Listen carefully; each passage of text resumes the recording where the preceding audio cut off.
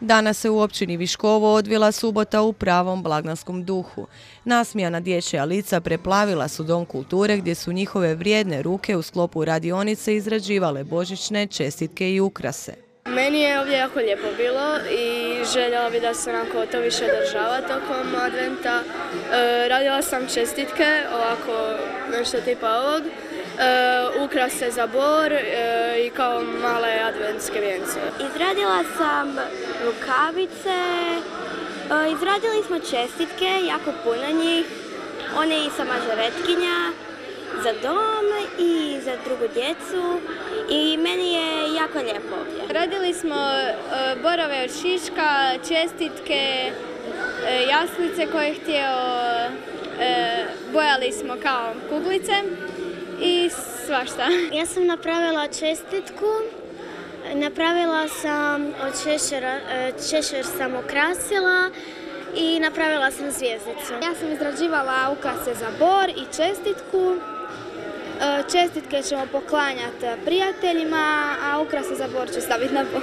Radio sam, obojao sam figuricu, radio sam čovjeka nekog i poklonit ću mami. Jašliće, obojao sam zvijezdu i sad trenutno pokušavam napraviti bor. Dječica su nakon radionice ukrase koje su izrađivala mogla ponijeti svojim kućama, a evo kome će ih i pokloniti.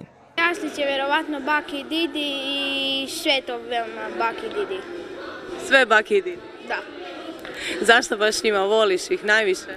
Da, i dosta su u Dalmaciji su, pa su daleko. Poklonit ću ih mami, tati ili djedi baki. Voljela bih to pokloniti Noniću jer on je jako onako je umjetnički tip i onda ja mislim da bi bio oduševljen da mu to dam. Dolazi mi rodbina iz Italije i iz Slovenije pa ću njima pokloniti. Mislila sam pokloniti možda na moje prijateljici.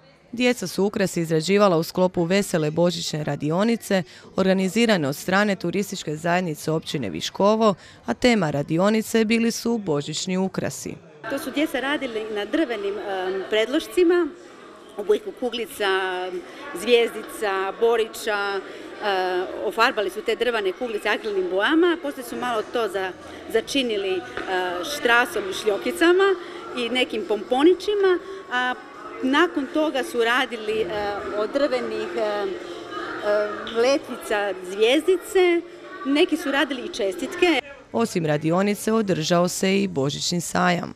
Na našem božićnom sajmu izlagali su naše udruge i e, dječji vrtići koji su izradili ukrase, da evo bilo nam je u planu e, nekako to e, napraviti u većem obujmu, međutim vidjeli ste i sami da je kiša i da evo i sad pomalo pada, tako da ovaj, nadam se da će popodne biti puno ovaj, bolje i da ćemo makar pobjediti.